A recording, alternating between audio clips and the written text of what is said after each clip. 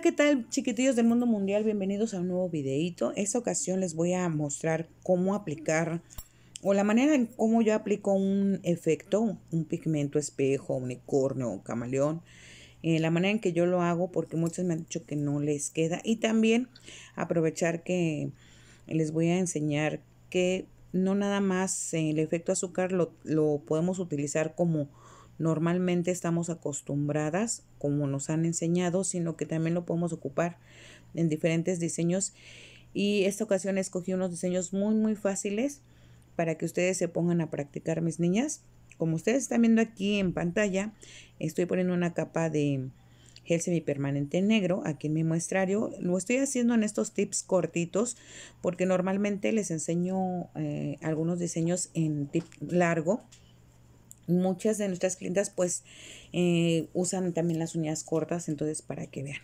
Para empezar aquí les voy a enseñar cómo coloco yo el pigmento. Yo lo coloco primero en palmaditas por toda la superficie de, la uña de nuestra clienta o de nuestras uñas. ¿Por qué? Porque si yo lo pongo, eh, lo pongo luego, luego y empiezo a tallar, como verán, aquí lo pongo en cámara lenta, ¿qué hago? Voy quitando eh, el mismo pigmento, entonces pues ya, nos, ya no nos queda uniforme. Entonces, ¿qué hago? No se barre, sino que primero a toquecitos y una vez que está cubierta toda la superficie, ahora sí, comenzamos a, se puede decir que a tallar, ¿sí? A frotar de esta manera. Si lo hacemos luego, luego la primera, como les puse en cámara lenta, pues ¿qué hacemos? Quitamos el efecto, quitamos el pigmento, entonces por eso no nos queda pues uniformemente eh, bien aplicado. Entonces siempre procuren, procuren ponerlo en palmaditas y luego ya posteriormente lo van a empezar a tallar para que quede perfectamente cubierta la uña. Yo aquí la, la puse en un tono plateado, pero es eh, como pavo real, como un unicornio en plata. Y sacudo para quitarle un poco el exceso.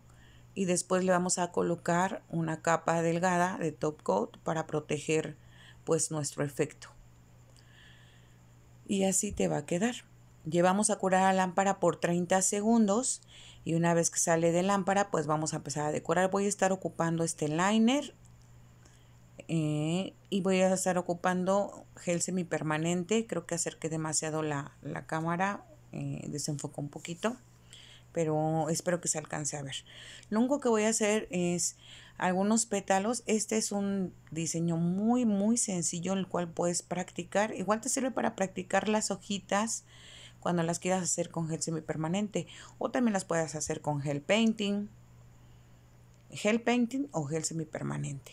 Con pintura acrílica no porque pues no pegaría nuestro efecto azúcar. Aquí yo sí le voy a poner un efecto azúcar en estas florecitas, pero ya ustedes verán cómo se va a ver. Este nada más es como una práctica. Eh, quise grabarlo para que vean que practicando pues ya se logran muchas cosas siempre y cuando pues te sientes y, tengas esa paciencia para hacerlo.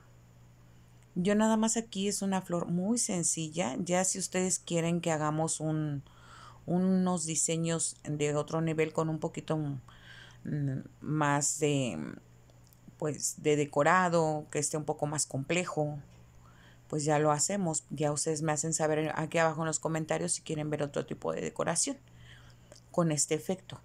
Mm, se supone que entonces la base nos va a quedar eh, unicornio o pavo real, porque venía en los pavos reales este efecto. Eh, va a quedar así la base.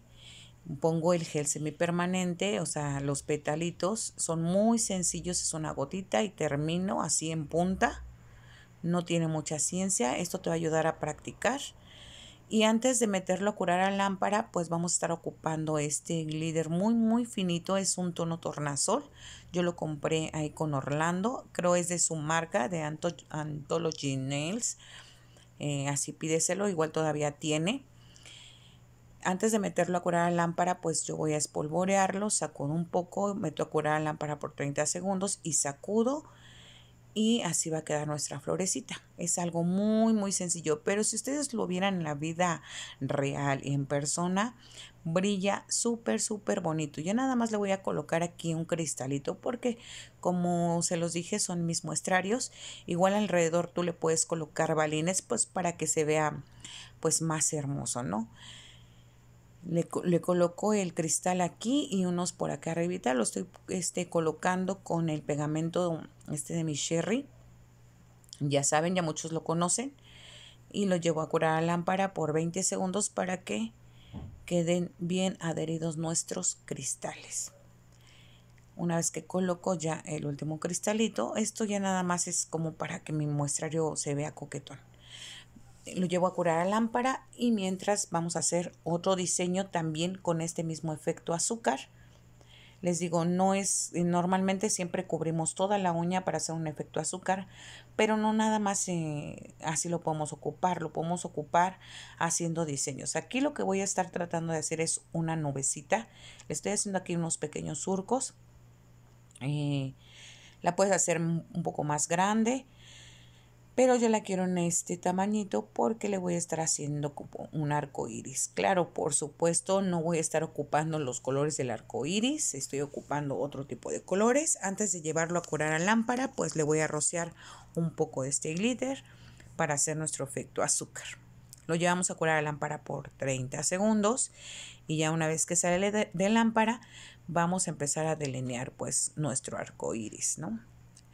Tú ocupa los colores que quieras, si quieres unos colores pues más intensos como rojo, azul, eh, un morado más, más fuerte. O sea, este es un lilita. Quieres un morado, por ejemplo, como el que traigo en las uñas de la mano derecha.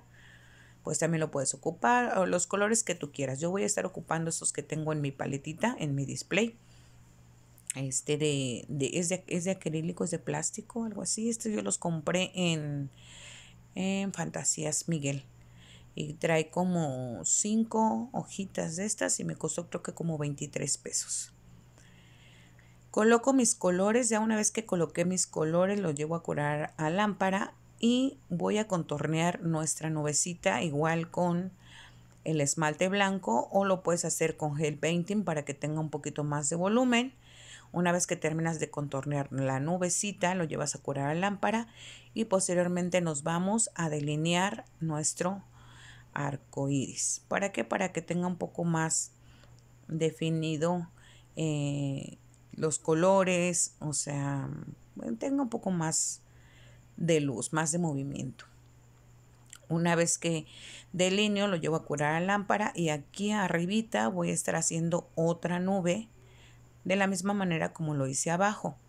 Con el blanco hago los surquitos estos y antes de meterlo a curar la lámpara, de igual manera lo espolvoreo con el glitter. Tú lo puedes hacer con cualquier color, o sea, cualquier diseño que quieras hacer en, en efecto azúcar, lo puedes hacer. Yo lo estoy haciendo con este tornasol y estos son los diseños que pues estoy haciendo en mi muestrario. Normalmente siempre ocupamos el efecto azúcar em, como en la blanca, ¿no? Toda la superficie eh, completa en esta, por ejemplo. Pero el efecto azúcar lo puedes ocupar pues haciendo diseños. Estos son, son muy sencillos, pero pues te pueden servir de referencia. Tú ya puedes ocupar tu imaginación para hacer otro tipo de diseño, pero ocupando tu efecto azúcar. Y bueno, pues esto es lo que salió en este videito. Espero que te haya eh, servido la información en la manera en cómo yo trabajo. Miren, por ejemplo, aquí yo me hice una uñita con el efecto azúcar, pero la hice completa. Miren, como pueden ver aquí, ese es normalmente como la utilizamos. Así, el efecto azúcar, aquí como pueden ver, pero pues lo puedes ocupar haciendo un diseño. Así se ve muy padre también. Hay muchos colores con la cual la puedas ocupar. Pero pues estos son muy sencillos para que te animes a practicar ahorita que estamos en casa. Entonces pues tenemos bastante tiempo. De antemano te agradezco que me hayas acompañado en este videito.